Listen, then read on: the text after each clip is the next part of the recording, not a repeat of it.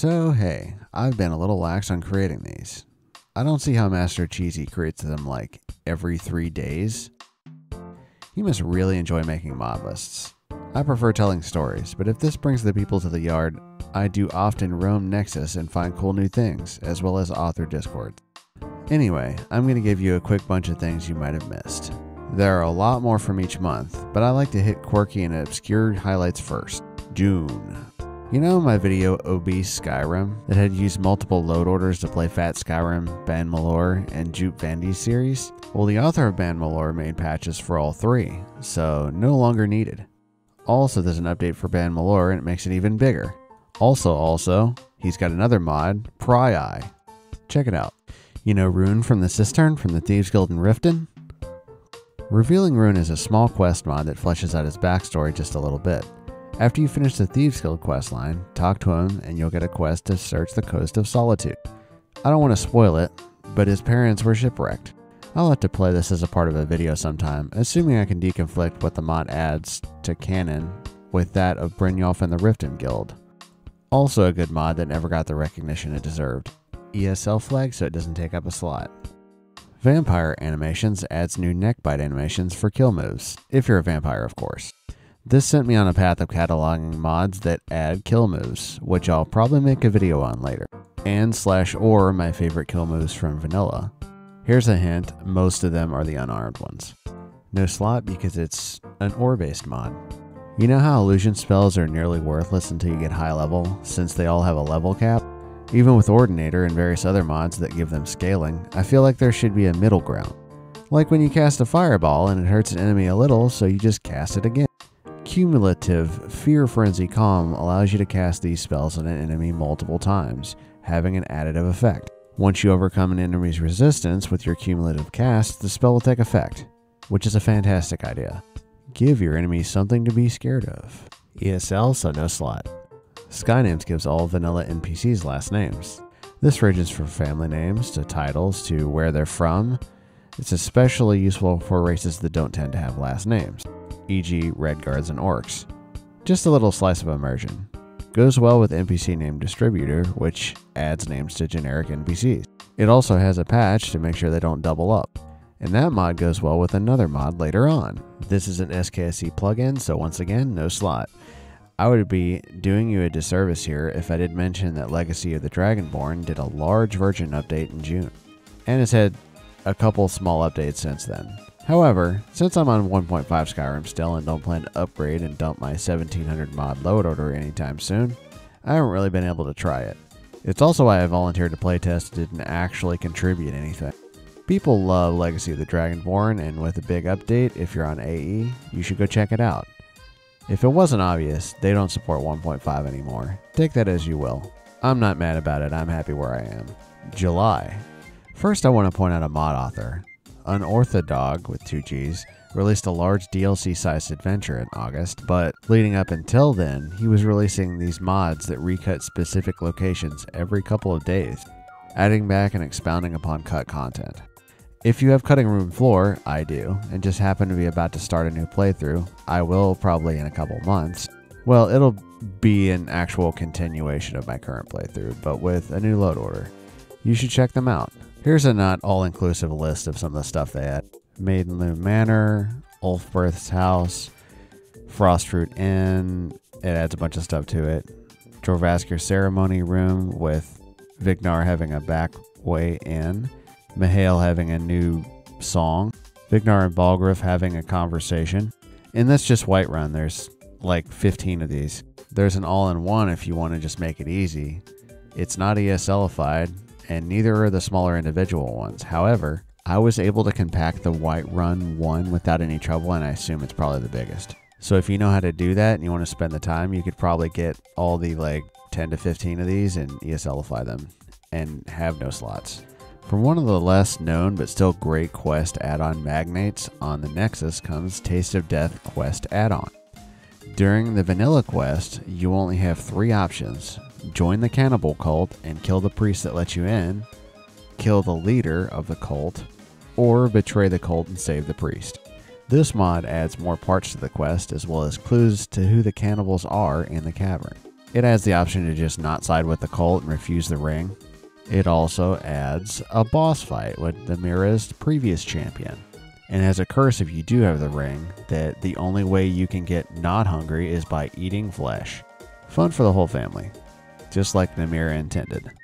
Edmond's Birds is a nice little immersive add on. It adds ravens, pheasants, seagulls, and flocks of other birds and bats flying around Skyrim, and includes unique audio for bonehawks and places more of those around vampire lairs, and adds more undead birds to the soul cairn.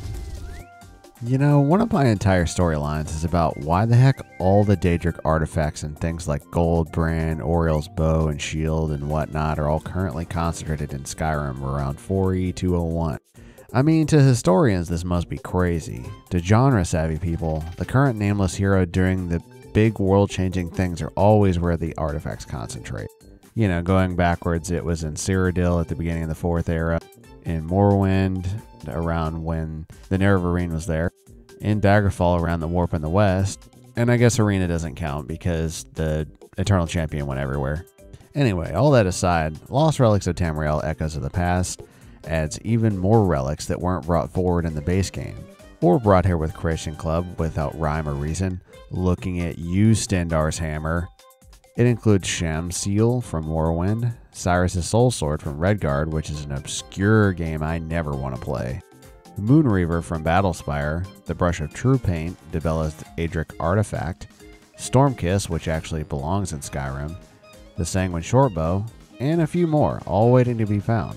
You know, since you've probably already added a million dungeons to Skyrim, like a piece of Swiss cheese. Also, the author has a few more mods that add even more. And it's an ESL, no slot, August. First of all, the obvious, the Bard College expansion released in August. I did an entire video on it, and I'll be doing a Let's Play at some point. But, you know, most people go to the same few mainstays for Let's Plays and not people like me. Just a summary, it's essentially what a paid mod should look like. With several new game systems, a large main quest line and side quest lines, all fully voiced. It's the closest thing to a DLC that's come out of the Creations program, rivaling things like Dragonborn and Dawnguard. And that's all I'm going to say about that. Obviously, all large quest mods take a slot, but the cool thing about them is that they're pretty modular. You can play one in a playthrough, and then the next time you do a playthrough, just don't have it activated. Perk Adjuster is more like a framework. It allows other modders to add perks to existing trees using configuration files without the headache of version incompatibilities and patches between perk trees. Of course, nobody's made anything for it yet, but it seems like some really cool stuff could be coming like add on a couple of the stray perks you like from Vokrii into Ordinator, or Vokrinator Black but without taking up 10 slots. It could be like custom skills framework level of advancement for Skyrim modding. Keep an eye on this one.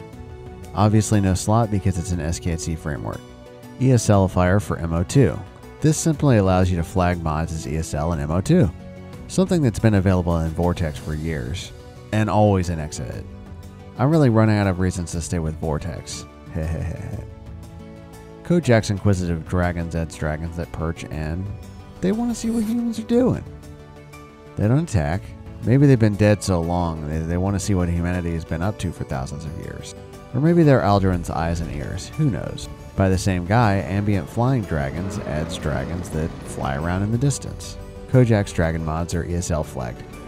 Cults of Skyrim adds two new cults and new locations to explore across Skyrim, and a Hunters faction.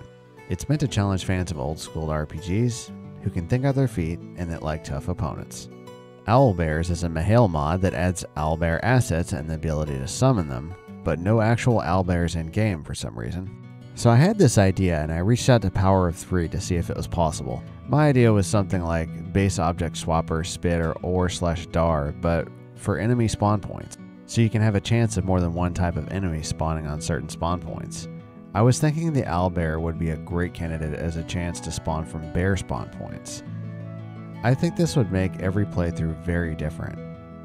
Of course, he hasn't responded yet. Notice me!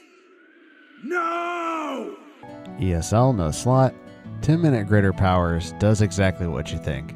Instead of having to wait an in game day, you wait 10 minutes to use your powers again because in the base game, I usually use them once and then forget they exist forever.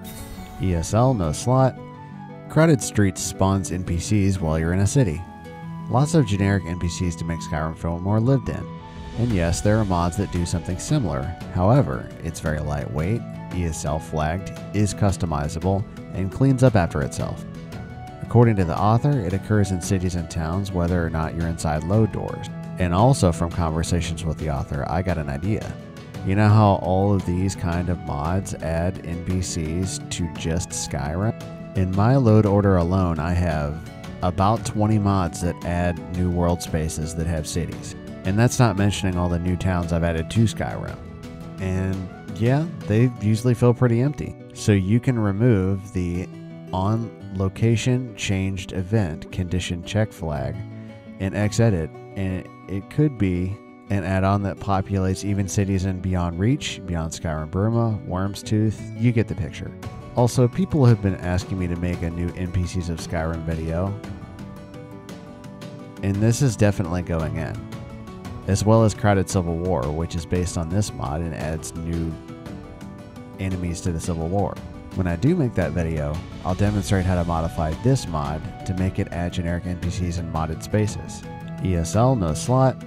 Ancient Nord Heroes use Thu'um, by the same author as Dragons use Thu'um, which got an update by the way, allows the Nords in Sovngarde to use Thu'um, which makes a lot of sense. That's what they were known for. It's how they defeated Alduin or sent into the future anyway. And they've had thousands of years to practice it. They could probably show you a thing or two. And last but not least, here's a big one Dismembering Framework. It came out in August. It's a mod I've been watching for a little while.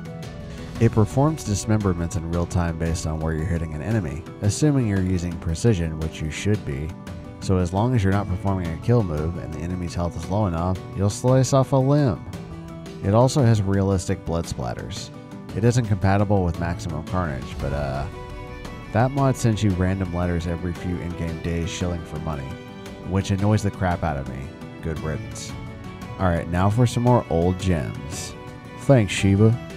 Here's Bash Deflection.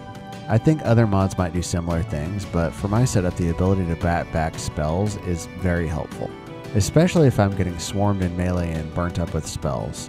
There's also another mod that lets you deflect wards, but that sounds a lot more dangerous to me than to enemy, since I pretty much never use wards and enemies use them constantly. I found this YouTuber named JJFXVR who has an insane modded Skyrim VR setup. He's got a weight vest, haptic technology, and in game he has Mantella based AI NPCs. Shall we continue our exploration now? Or do you require more comedic relief? Oh, you have an uppity sense of humor. It's hilarious.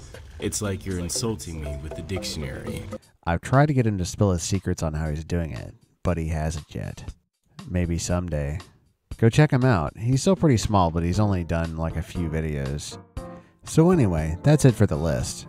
For Let's Plays coming down the pike is a regular Bard's College episode, then Saints and Seducers, Chapter 2 of Morag Tong, then the time skip will most likely begin. Bard's College expansion happening during the Stolen Year. Val Part 5 will be in the interim. Katana Part 2 will be later once the two of them get their big updates. In other videos, it'll be a mass character intro, a showcase of huge mods coming out in 2025, and an updated NPC mod list. That's all I have. Thanks for watching. Like and subscribe. Happy modding.